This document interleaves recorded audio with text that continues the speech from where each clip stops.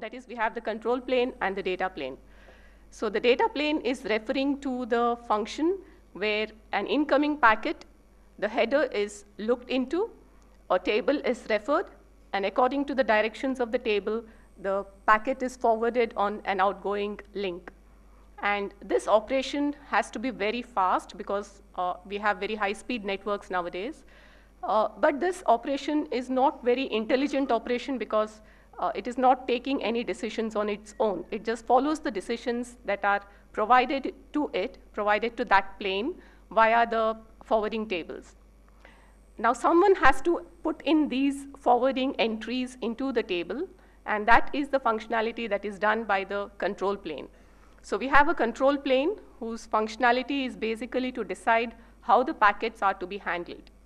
And uh, this plane is, uh, there, there would be certain uh, control algorithms which are running on this plane, which will probably interact or have to interact with other switches, that is the control planes on the other switches, and somehow they arrive at a conclusion as to how the packets are to be forwarded in order for it to reach the destination. So this plane is an intelligent plane because it has to take these uh, routing decisions. Uh, and this plane need not be as fast as the data plane because our uh, routing decisions or the routing, uh, uh, the paths that are chosen don't change as often uh, as or at the speed at which the packets need to be forwarded. Okay, the changes to the network topology happens at a slightly slower pace as opposed to the pace at which the packets need to be forwarded at the data plane. Uh, and therefore, we can say that uh, the control plane is intelligent, but it can be a little slow. The data plane is fast, uh, but it is dumb in the sense that it doesn't take any decisions. It just follows the decisions that are provided to it by the control plane. So all our uh, networking elements or networking devices have two planes, the control and the data plane. Uh, what happens or what used to happen uh, until recently was all of this, that is, you have the control plane, we have the data plane, we have the uh, hardware, the software, all of this was bundled together. It was vertically integrated into one monolithic system. Uh, that is, there was no flexibility as far as uh, what kind of hardware you used, what kind of software you used. Uh, there was no flexibility in terms of what control programs you're using and so on. So it was just one vertically integrated system that was being provided by a vendor. The vendor chooses the kind of hardware that he's going to use, the kind of software that he's going to use, the kind of uh, control plane algorithms that he's going to run, and the entire thing is uh, uh, bundled together and sold to the end user. The end users could be enterprises uh, who, who, make use of these uh, uh, switching devices. the problem with this is that the advantage of this is it is very very efficient, it is highly optimized to do the kind of task that it is supposed to do, uh, and it forwards packets at very good speeds, very high speeds. But it has certain disadvantages also. Uh, so one of the disadvantages is that it is inflexible. Inflexible in the sense that we don't have the choice of choosing which control algorithm, uh, which control plane algorithm we, we choose to run. We don't have the choice of uh, choosing a particular hardware. Uh, the uh, associated uh, peripheral, peripheral devices and so on. So the only kind of choice that we have is which vendor we can choose. So you can choose a switch from uh, Cisco or Arista, but you don't have any flexibility as to how these switches are built. Uh, the second disadvantage is that they are not programmable. That is, uh, you cannot, for example, change the control plane algorithm that is running. you cannot make changes to it, nor can you add new control plane algorithms uh, into these switches. So there is no programmable, uh, programmable features provided to us. Uh, these are, they do provide configuration features, but you can't really program a switch, like how you would program a server or how you would uh, program certain applications and so on. Uh, it also takes several years to innovate. Uh, the reason is these are vertically integrated, and therefore if uh, the vendors feel there is a need to change certain control algorithms. Uh, even then, it takes several years for these changes to be uh, finalized, to be incorporated into these routers because uh, there is there's a lot of uh, business issues that are involved here. You already have your previous models in the market. If you want to bring in a new model with new features, those features have to be uh, properly justified. And again, since the entire thing is vertically integrated, bringing in these changes will take several years. So the speed of innovation, whether it's at the data plane layer or at the control plane layer, is slow, or it takes several years. The last thing is it's expensive. You have a single vendor who is providing the entire uh, switch uh, or the entire networking device, and uh, they basically price it highly. Uh, uh, they do provide certain differentiating features, and based on that, these products are expensive. these are some of the, this is the current scenario as far as networking devices are concerned.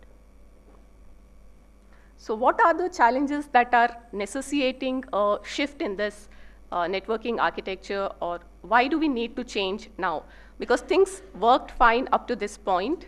Uh, the internet, which, uh, which has been in use for several decades now, uh, started off with just a small lab. It has uh, ex exploded uh, to billions of end hosts. and it has scaled very well, even though uh, we, have, we are not using any, uh, or we have not changed the basic algorithms and protocols that are in use. Uh, so as far as the internet is concerned, uh, the existing protocols have scaled very well, and the internet has proved to be robust uh, over the period of time, over the past several decades. But there are certain applications which are coming up now, which is causing uh, or which is necessitating a change in the network, in the networking area. So one of the things is that because it is not programmable, because, uh, I mean, these reasons stem from the fact, from the disadvantages of the vertical integration of your uh, networking elements. So because it is not programmable, uh, new applications are not able to control how these uh, switching devices operate. For example, a company like Facebook would have thousands of, uh, would be using thousands of switches for its internal data centers. Now they would want these devices, switching devices, uh, to work in a way which is optimized for their applications. They don't, don't want generalized routing features, but they would probably want routing features which are optimized for their applications, for the applications that Facebook runs in its uh, data center. Similarly for other enterprises, similarly for other business applications.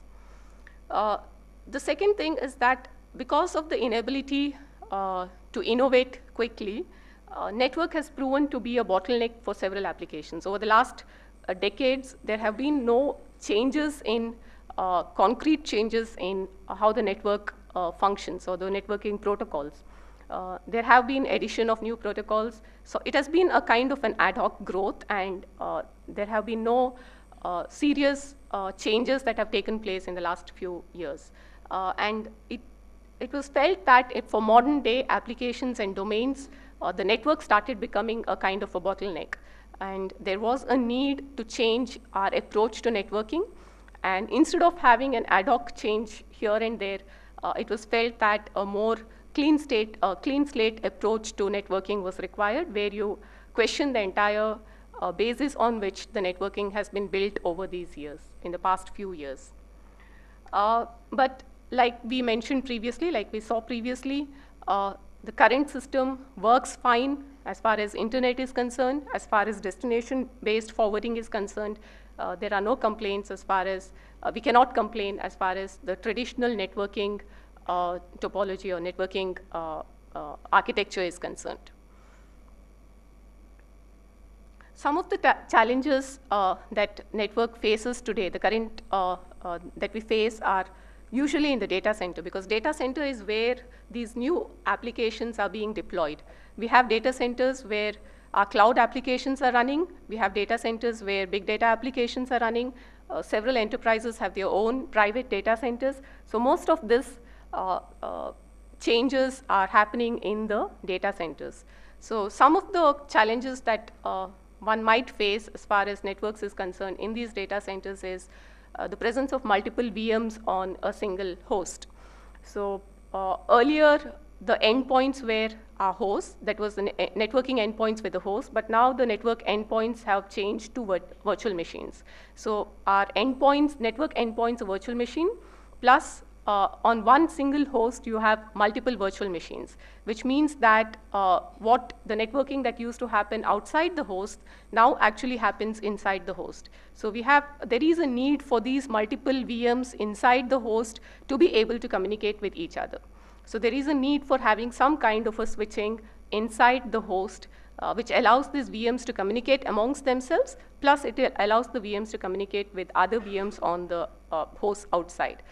Uh, the dy dynamic allocation of resources. So uh, if we consider the cloud applications which are running on data centers, uh, you have uh, resources being allocated dynamically. So if a particular tenant requests for 10 VMs, he can immediately change his requirement to 5 VMs or 100 VMs. So there is a dynamic alloc uh, allocation of VMs, uh, and this has to, the network should be able to support this uh, sudden and dynamic changes in its endpoints. Uh, previously, our endpoints were pretty static. It did not uh, change much, but now we have VMs coming up and going down uh, very frequently.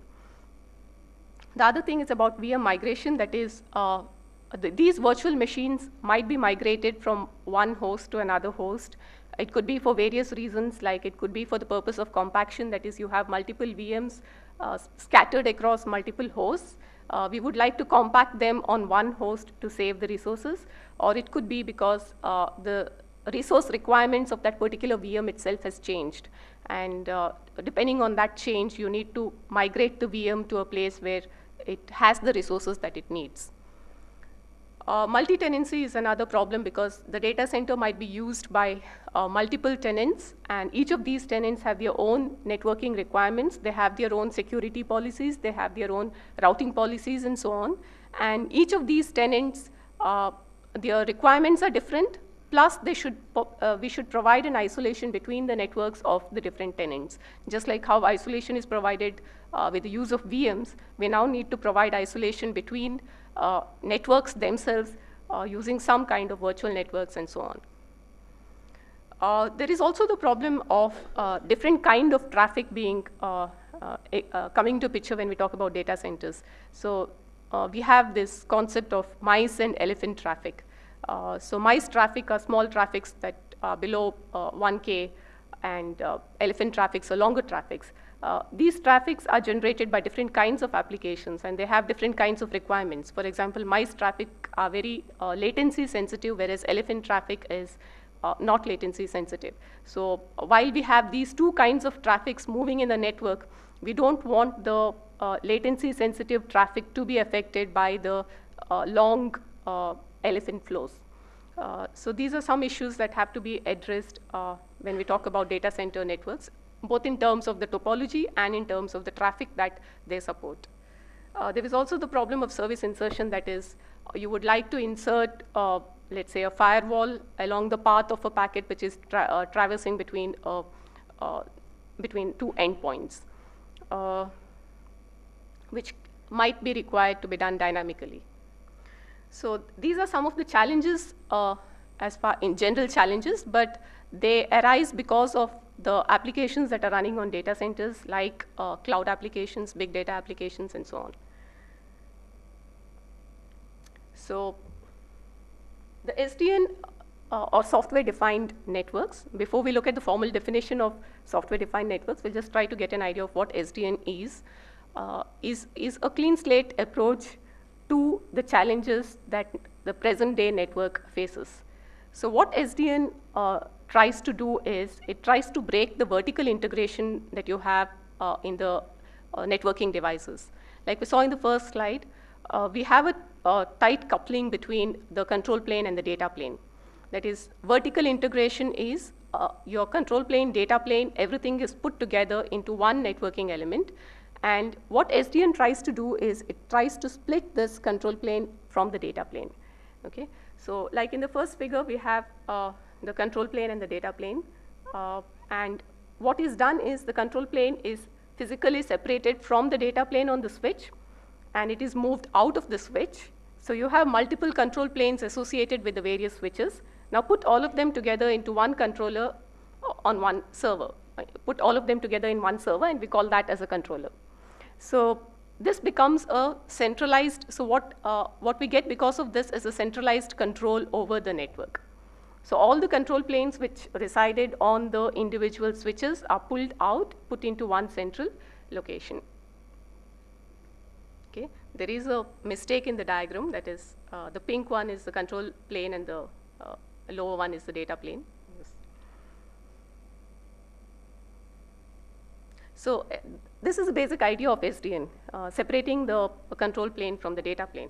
Now, because the control plane and the data plane are, are physically separated, uh, there should be some mechanism for them to be able to communicate with each other, because it is the control plane that is taking all the uh, uh, forwarding decisions. If we take the example of a switch, all the forwarding decisions are being taken by the control plane, and there should be a mechanism by which this control plane can tell the data plane how the packets are to be forwarded. So basically what we have done is the switches are now uh, switches now contain only the data plane, and uh, the control plane is going to reside on some x86 machine. So the switches have become dumb switches, and all the intelligence is moved to one central controller. So there is a need for the controller to inform the switches how to handle the packet, and for this communication, the standard that is uh, mostly used is OpenFlow. So OpenFlow is the standard which is going to allow the controller to communicate with the switches. So this communication is basically allowing the controller to put uh, forwarding entries into the uh, switches, into the flow tables of the switches. Uh, here the concept of uh, just L2 based or L3 based forwarding is sort of removed and forwarding can be based on the headers of any of the layers. So instead of having, we, we call them as flow tables. So these switches, dumb switches have flow tables in them which are going to be filled by the controller. It uses the OpenFlow protocol in order to fill this table. And this table will not just have forwarding entries which are based on L2 or L3 headers, but it could also be based on headers from the application layer. For example, a certain type of traffic uh, like HTTP traffic could be handled in a way which is different from the way in which FTP traffic is handled. So these forwarding tables can have entries from all the layers of the network so that strict uh, forwarding based on the headers of a particular layer no longer exists. Uh, the controller is basically having two tasks uh, that it can perform now. One is uh, it installs the forwarding rules, like how the controller used to do it when it was tightly coupled with the data plane. In the same way, now it is decoupled, but it still has to uh, put in the forwarding entries into the flow tables of the switches. So it still continues to do that work. And it also does a network statistics collection. So it, it has a central uh, view of the network. So it knows the exact network topology. It knows the kind of traffic that is moving in this network. So it collects this information, uh, and this is one of the tasks that it does. So it collects the information, the network statistics in terms of the topology and in terms of traffic. So it has uh, almost real-time information about topology changes. It has almost real-time information about uh, the kind of traffic that is flowing in the network uh, at that point of time. And based on this, it has to install the forwarding rules on the switches. Now, because it has this uh, real-time information in a centralized location, it can now start making uh, dynamic routing decisions. And it also can make end-to-end -end routing decisions as opposed to routing decisions which are sort of local, you now know, uh, for example, all that your, uh, the dumb switches that are connected together, that is your network, reduces to a simple graph as far as the controller is concerned. So for the controller, it just has a graph where the nodes are the switches, and you're able to see the entire graph. So finding, the, finding a path between a source and a destination reduces to a simple Dijkstra's algorithm, like a shortest path between a source and a destination uh, reduces to a Dijkstra's algorithm, which we couldn't run in a distributed architecture. So now you have a centralized architecture, so I have end-to-end -end visibility between the two end and the, uh, the source and the destination. Path computation uh, can be done uh, considering the entire network topology. It can also be done considering the current state of the network, that is what kind of traffic is moving in the entire network. So dynamic changes can be made to the uh, routing decisions. Instead of just having the shortest path uh, routing, you can now look at the traffic. You have the shortest path, but if you find that that particular short path is being overloaded by uh, traffic, you can probably move it to some other path that is the packet can be forwarded along another less loaded path. Uh, here you have uh, basically two kinds of APIs. That is, you have the northbound API and the southbound API. The southbound API is between the controller and the OpenFlow, uh, sorry, between the controller and the switch. And the API which you have there is uh, OpenFlow. That is, for the communication between the controller and the switch, the southbound, uh, you have OpenFlow. Similarly, you can have several APIs for communication between the controller and the applications which are running on top of it.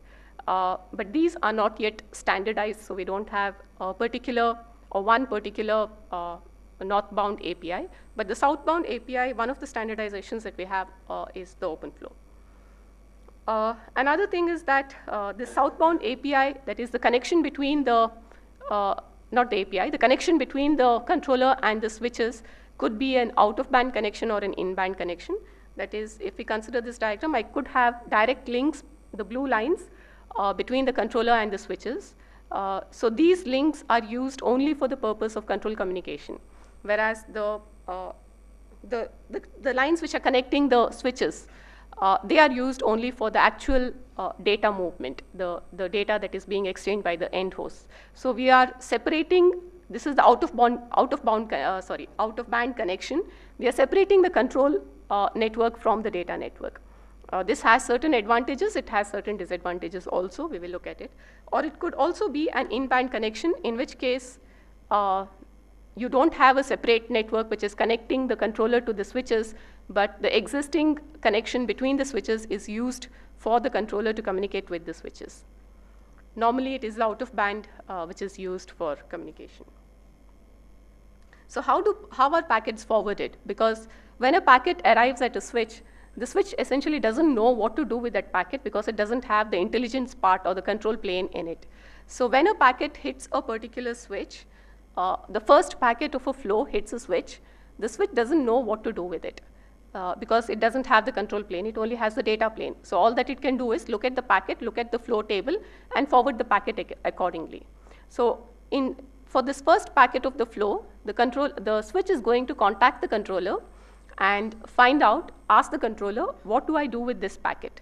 Now the controller has got the uh, picture of the entire network. It has the topology information, it has the traffic information.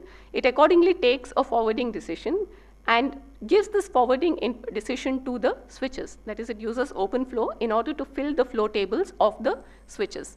So the flow table of the switches is filled as to how to handle this particular packet and that packet is now going to be forwarded according to the rule that is being given to it by the controller. Now this same information, when this packet hits the next switch, you have the same question as to what is to be done with this packet. The second switch that it hits will again not know what to do with that packet, so it will have to basically contact the controller. But to avoid that, since the controller knows the entire end-to-end -end path, it can install the rules on all the switches along the path. So forward rule is basically installed on all the switches along the path. So if, a, if there is a source S and a destination D, the first uh, packet that hits uh, the first hop switch, uh, that switch contacts the controller. The controller decides how the packet is to be forwarded. It knows the exact path. It accordingly puts in the forwarding rules on all the switches along the path, and then the packet is forwarded. For subsequent packets of the flow, there is no need to contact the controller because the flow rules are already installed on the switches and the packets are going to be forwarded. So the first packet of the flow contacts the controller, but the later packets of the flow are forwarded by the switch without the controller's intervention. So the formal definition of having looked at how SDN works, uh, the formal definition of SDN is uh, the, yes.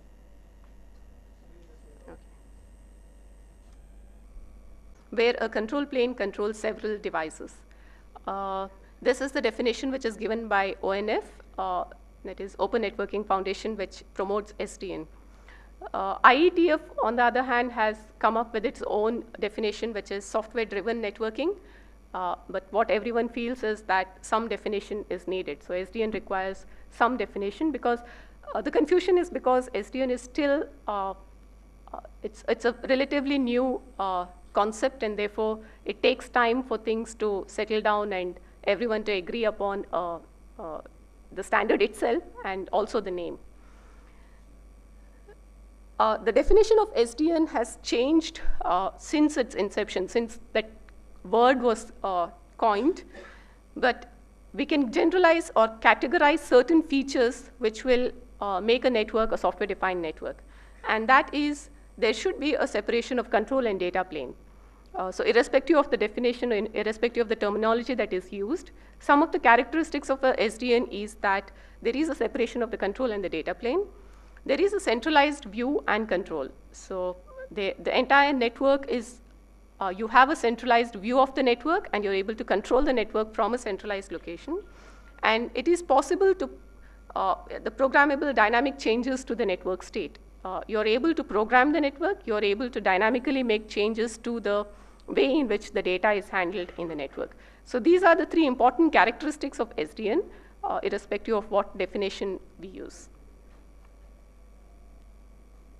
So what are the issues in SDN? So we know uh, what is the current state of networks. We know why we need to change uh, the networking, uh, networking itself, the concepts of networking. And we know what SDN is, but uh, SDN is not uh, without its own problems. So there are certain issues in SDN uh, which need to be addressed. these issues could be in the centralized control plane or it could be in the data plane. So with the centralized control plane, one of the obvious uh, disadvantages is, as with any other centralized uh, control, that is a single point of failure. So if your controller fails, uh, even though the switches are working perfectly fine, they would not be able to forward packets. They cannot do any useful work because they don't have the intelligence as to how to handle the packets. For everything they do, they need, the, uh, need to contact the controller. So a single point of uh, failure because switches are op operational when the controller fails.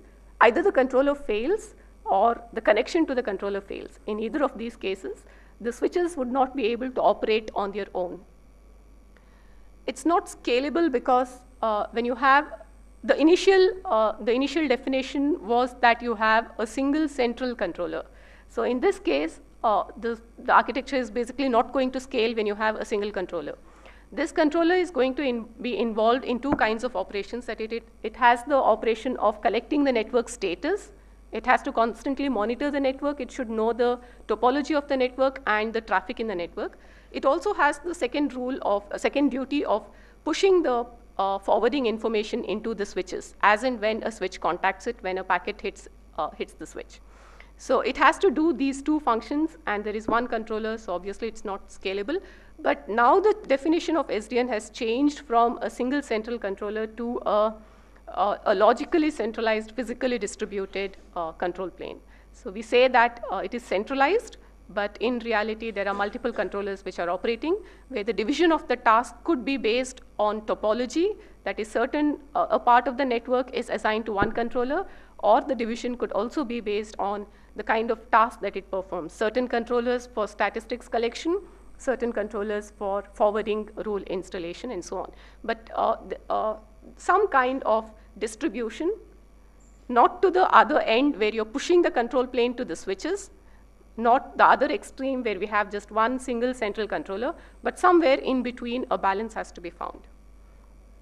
It is not resilient to failure. That is, in the data network, the switches are connected to each other uh, via the data network. The switches are connected to the controller via the control network. Now, because of this separation, if there is any uh, fault in the data plane, that is a link goes down, uh, it, is, it cannot be directly detected by the controller uh, because the control plane is working fine. It's only the data plane which has failed. So this requires some additional work to be performed. Whereas in traditional networks, uh, we don't have this separation between a control plane and a, uh, the control uh, network and a data network. Uh, but now, because we have this distinction between a control network and a data network, any failure in the data network would probably not be detected quickly or directly by the controller. Uh, there are certain issues as far as the uh, packet forwarding plane or the data plane is concerned. So these were the issues with the data uh, control plane. Uh, you also have issues with the uh, data plane. And even here on the data plane, things are not scalable because as we said, we don't have forwarding tables, but we have flow tables. These flow tables are large in size because they cater to the headers of all the layers. So a flow table will have headers from uh, the application layer, network layer, transport layer. So because of this, the size of the flow table itself has increased, and it makes use of TCAM, which, say, which means that the number of entries that you can have, uh, these are expensive but small uh, memories, and therefore the number of flow table entries that you can have within these switches is uh, highly limited. Uh, so the, the scalability issue continues to exist in the data plane also, and that is mainly because of the increased size of the flow table and the reduced size of the uh, memory that you have for these flow tables.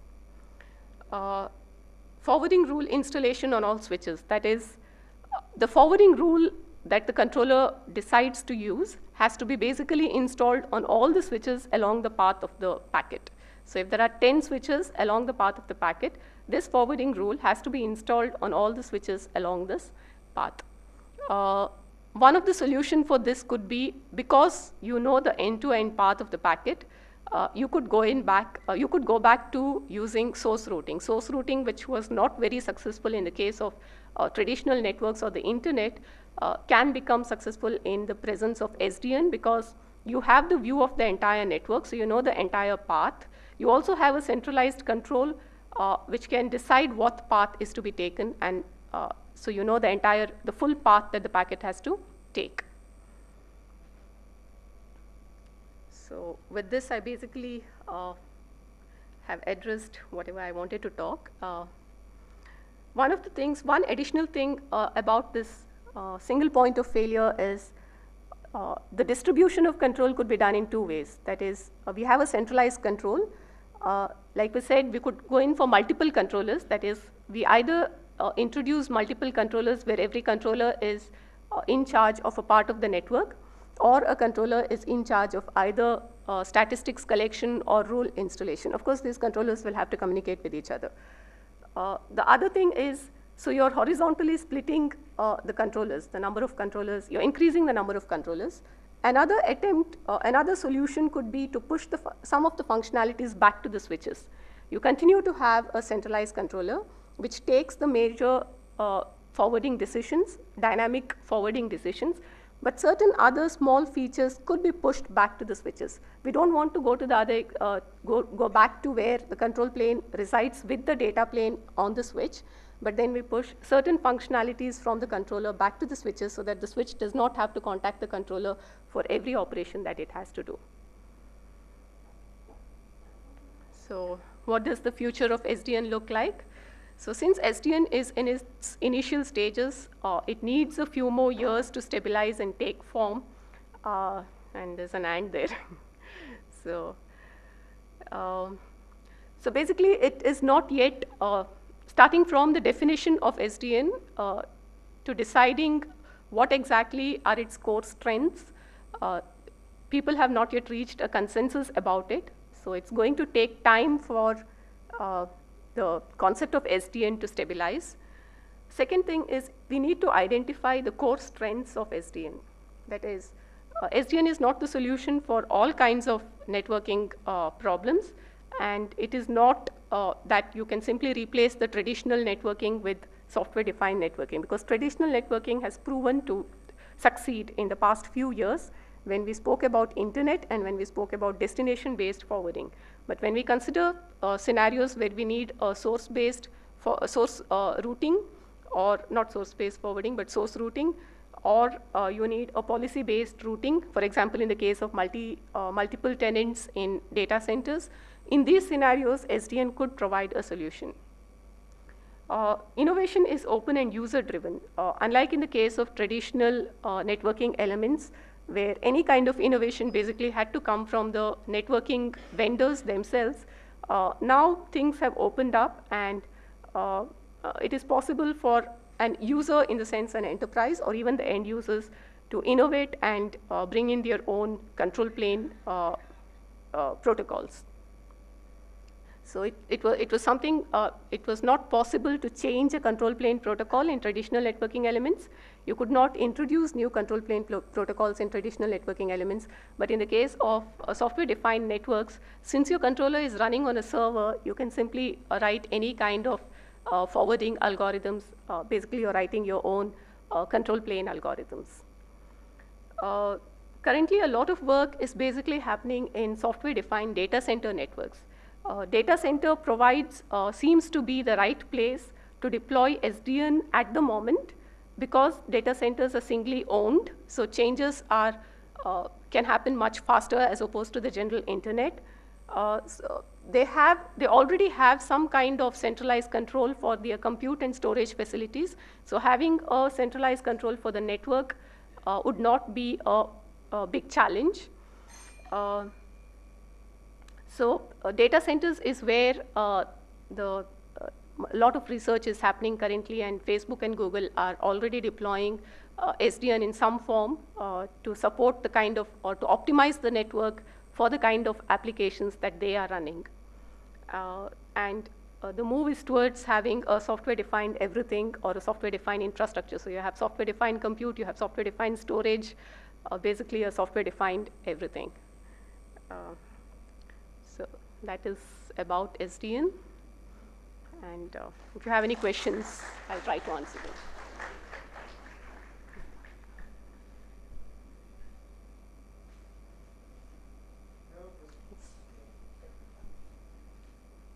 So regarding uh, the high availability or the single point of failure, uh, are efforts made to uh, solve that?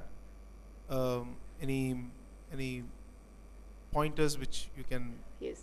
Uh, one of the things is that uh, they are going in for uh,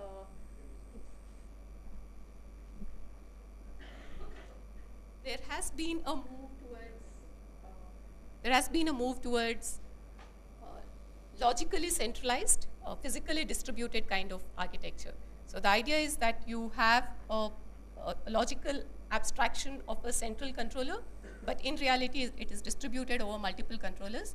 Uh, the distribution could be in terms of uh, certain, for example, one data center uh, being controlled by one controller for uh, average sized data centers, uh, or it could be based on uh, having controllers which do certain tasks like forwarding is being taken care by one controller and data collection is being taken care by other controller. So as far as uh, deployment is concerned, I have no idea. But as far as research is concerned, this is the move uh, that we are taking. Right. So all this, all this uh, information that is saved. Yes. Uh, and this is pretty generic. I'm talking about Yes. not just software-defined uh, network. Uh, is it?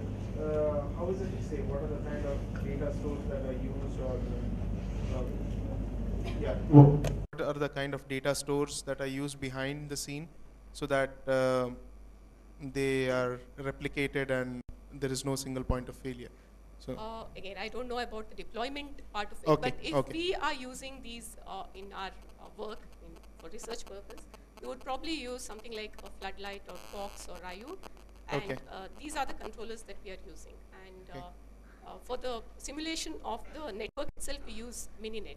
Okay. Uh, but as far as actual deployment, for example, big switch and so on, I have no idea about what kind of stores that we are using okay, there. okay, yeah, thank you.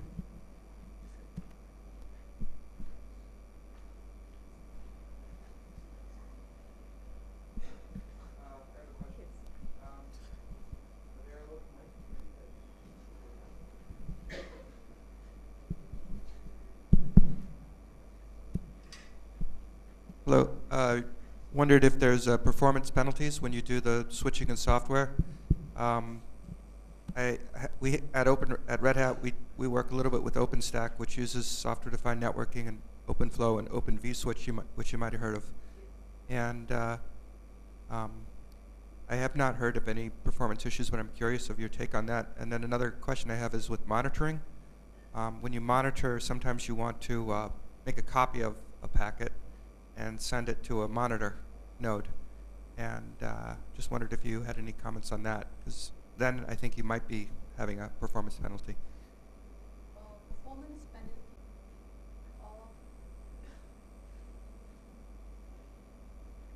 The, the forwarding of the packets is still done in hardware. So uh, it's, it's being done by the switches themselves. So this, there's this nice uh, split that takes place because uh, the data plane still resides on your switches. So the, the forwarding of the packets can still work at uh, line speeds. but your control decisions are being uh, carried out in software, uh, and they, I think, we can afford to be a little slower there. Uh, I'm aware if you, uh, say, install OpenStack, yes. you might not have the, the, the nice hardware. You might just be running it on pure software server. In that case, even in the case of, O- okay, uh, with OVS, the OVS is uh, for your inter VM communications. yeah, Yes. Okay, but your uh, the the normal switches that we have uh, operating between the hosts, you, you would still be using uh, the uh, OpenFlow enabled switches. yeah, yeah, right. I, maybe this would just be like inside of a server Inside cloud. the server, yes. Yeah, Uh, as far as OVS is concerned, what they have done, uh, I have just read about this, and uh, they split the control plane and the data plane uh, between the kernel and the user space. So the data plane uh, continues is is put into the kernel space because we don't need more programmability there, but we need speed. Uh, but the control plane is put into the user space so that uh, you have better uh, flexibility there. So as far as OVS is concerned, I think the split takes place uh, between the kernel space and the user space. As far as uh, physical switches are concerned, uh, hardware switches are concerned, I think the split takes place between the switch and the controller. So uh, the, the, the, the problem of speed uh, has been addressed to some extent. I thought your talk was really good. Thanks, thank you very much. Thank you. wanted to know uh, since, since uh, SDN is uh, using a lot of statistics and is being based on uh, intelligence, wouldn't be not uh, using too much of time, uh, less time it will be giving to forwarding than making decisions? No, there is the split between the forwarding and the control planes, right? Yeah. Uh, so your, uh, the forwarding task, Yeah. when a packet comes to a particular switch, uh, like I was talking about the hardware switch, but also in the case of software switches like OVS, when a packet hits a switch, uh, it has to be forwarded quickly. So the only lag that we have uh, theoretically is the time it takes for the switch to con- contact the controller, and this is for the first packet. So for the first packet, you have to contact the controller. The controller is going to install the rules. But after that, uh, the packets are going to be forwarded fast. But uh, the advantage is that you have more flexibility as far as forwarding is concerned. And again, these rules can be installed reactively or proactively. That is, uh, if I know that a packet is going to move or there is communication between uh, two endpoints, uh, because we are working in environments like data center, I might have some idea as to how the application is going to behave, and therefore I can proactively install the rules between the source and the destination. In which case, when the first packet uh, hits the first uh, switch, it already has the rule existing there. Uh, it could be reactive, which was what I was explaining, where the, uh, the switch is going to contact the controller and obtain the rule. And again, the rule computation in the controller itself can be done proactively or reactively. In most cases, it is done proactively. That is the computation in the controller itself. Uh, uh, uh, also, one more question: Yes. uh, Is uh, what kind of intelligence are we thinking about, or is SDN is talking about? What kind of intelligence are we talking about? Yeah, the general intelligence is as far as routing is concerned. Uh, you could decide, uh, you could have a policy based routing. For example, you can say that uh, the video traffic is to take a certain path, whereas uh, the video traffic of the CEO of the company is to take a low latency path. Uh, you can have things like uh, certain other policies could be deployed on the routes that a packet takes. Certain packets could be dropped, certain packets could be permitted to travel. So, most of these policies can be uh, deployed at the edge itself. That is, before it enters the network, uh, these policies could be deployed. There are certain policies which cannot be deployed at the edge and have to be deployed once the packet enters the network. That is, how the packets are to be dropped in the case of congestion and so on. Uh, there are uh, application specific intelligence could be, uh, for example, if you consider big data applications, uh, let's say there is a data store which is being accessed and the network uh, traffic in that region is very high. The network could direct or could give suggestions to the big data applications to move the data to a slightly uh, sparsely uh, uh, uh, loaded network.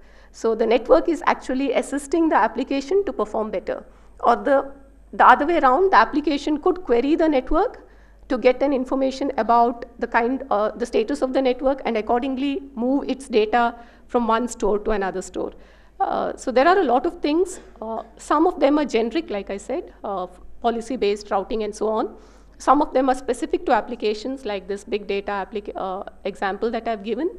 Uh, but I think we could think of a lot of a lot of different intelligence that could be added.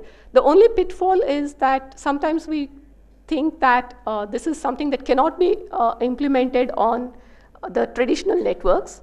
Uh, but that is not the case. There are some scenarios where traditional networks still work fine, and I think we should stick to it. So, Uh, uh, are we going for a ha- generic hardware for SDNs or uh, SDN can work on a uh, regular hardware? no, no, right now the scenario is it is a hybrid network. That is, uh, the switches are OpenFlow enabled, but they still can operate as normal switches, traditional, uh, traditional switches. Uh, we can also go in for a pure SDN, uh, but as far as I know, in deployment, uh, there are no networks which make use of pure SDN switches, that is, pure dumb SDN enabled switches uh, that cannot operate as traditional switches. But right now, what is happening is all the uh, traditional switches are made as OpenFlow enabled. So if they are made OpenFlow enabled, they become SDN enabled, basically. Thank you. Thank you.